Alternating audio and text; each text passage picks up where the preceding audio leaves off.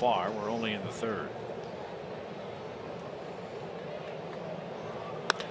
Rounded into the shift.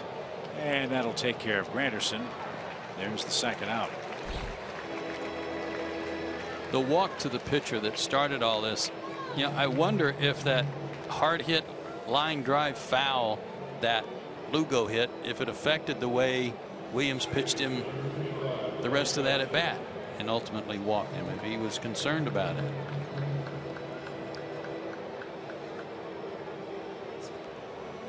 And there is action beginning in the Atlanta bullpen. Joel De La Cruz has grabbed the ball and begins to loosen up.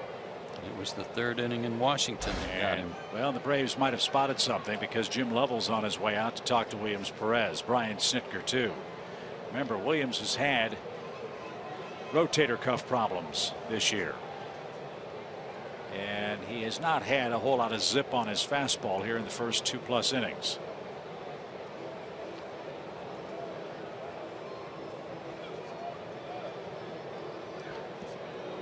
Adonis Garcia was in talking to him after the ground out. I wonder if he tipped off the dugout somehow that something was up.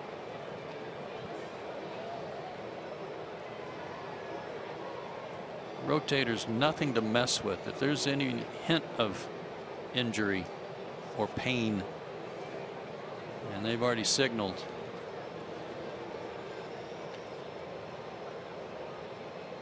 So Perez will be taken down because of injury. We will not speculate, but again, the track record for Williams this year is a rotator cuff issue. Hopefully, that hasn't flared up in the game today against the Mets.